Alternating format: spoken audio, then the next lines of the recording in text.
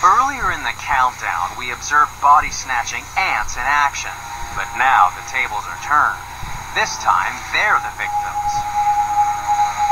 Red fire ants were accidentally released into America in the 1930s, and now there are literally billions of colonies across the southern states. Farmers loathe the pests, but have been unable to stem the tide of advancing ants.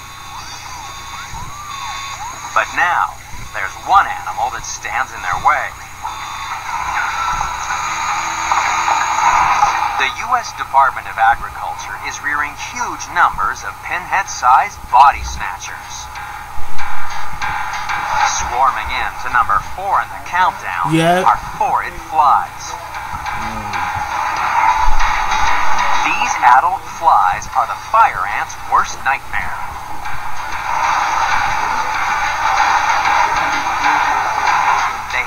Just out of reach, waiting for an opportunity to dart in and inject an egg into the ant's body.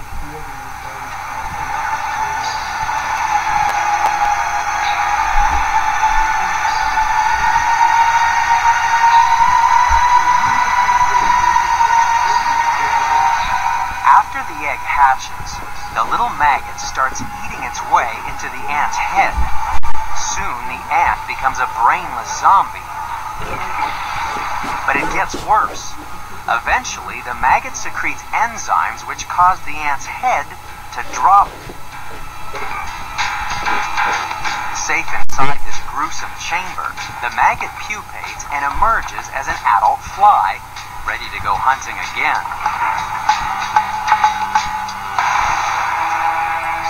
Luckily, these flies are like biological smart bombs, and they only attack fire ants. However, there is a species of phorid fly that really digs humans.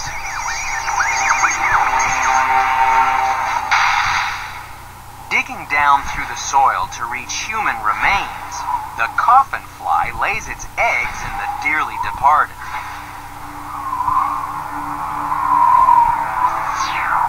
And there was a time when it wasn't the only body snatcher lurking in graveyards. In 18th century Scotland, there were five medical schools in Edinburgh, and they all needed bodies for the young doctors of anatomy and surgery to practice their skills. Local entrepreneurs soon realized there was good money to be made digging up fresh bodies and selling them to medical schools. The authorities tried to stop the body snatchers by building watchtowers and reinforcing the tombs with so many bars and locks they began to look like bank vaults.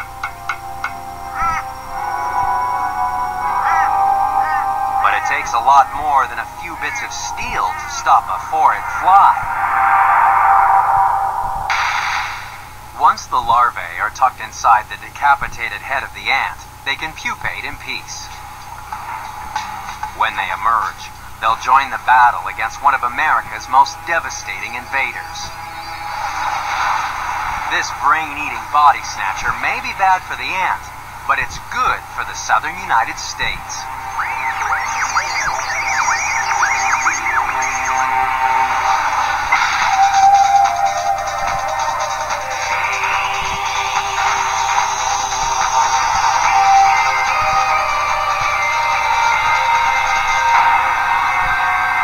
Number three.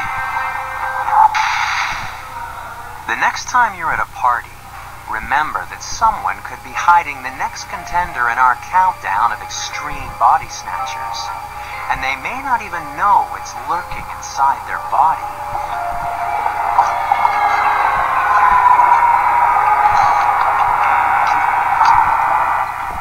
It's estimated that a quarter of the world's population is infected with some kind of parasitic worm.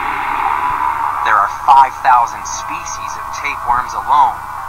But don't go thinking that these parasites just sit quietly in the gut, stealing food and minding their own business. Research has shown that to complete their life cycle, some parasites take over the body they've snatched. And it doesn't matter if the tapeworm is 60 feet long, or in the case of our next contender, measures less than a quarter of an inch.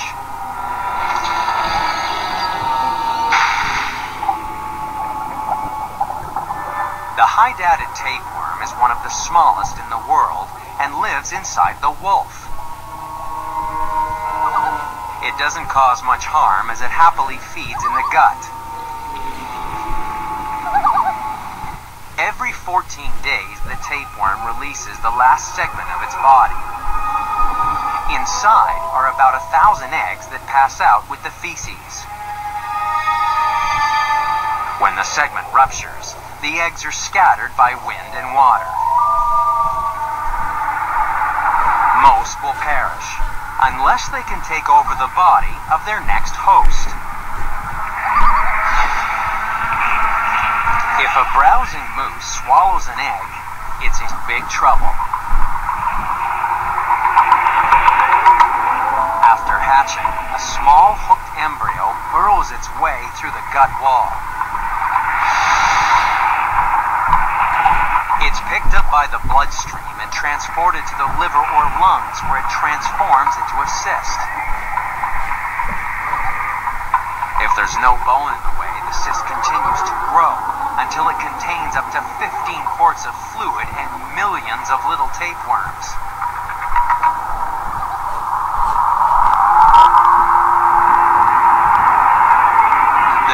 Huge cyst causes terrible damage, tearing through the moose's bronchial tubes and blood vessels.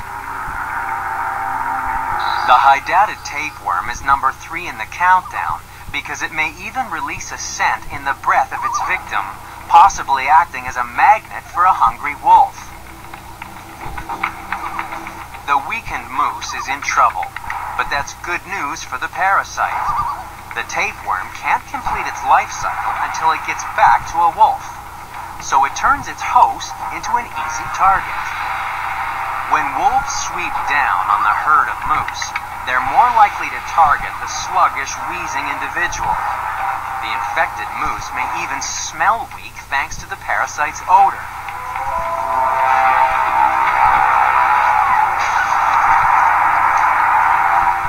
Result is that the tapeworm gets back to where it wants to be, inside the body of a wolf. This horrible body snatcher just uses the moose as a vehicle to find its way back home. Our next contender uses similar tactics, but with even more terrifying consequences.